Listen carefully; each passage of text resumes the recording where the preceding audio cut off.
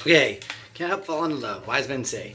First is a C chord. That's three and then zero, zero, zero.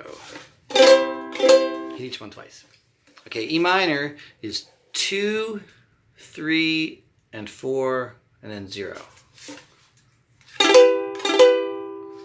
And A minor is zero, zero, zero, and two. And you do that one twice.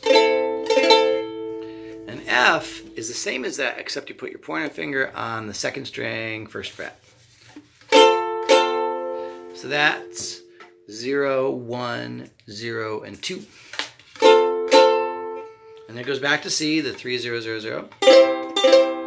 And then G is two, three, two, and zero. You that one twice then it just does more of the same. You do the F chord, that's 0, 1, 0, and 2, same as before. And then G is the 2, 3, 2, the hard one, and 0.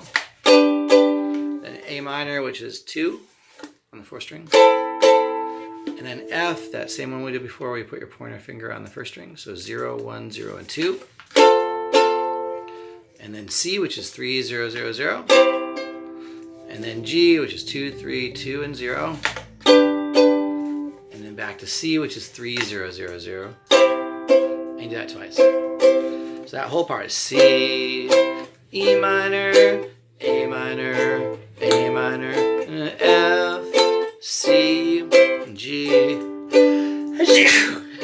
F, G, A minor, F, C, G,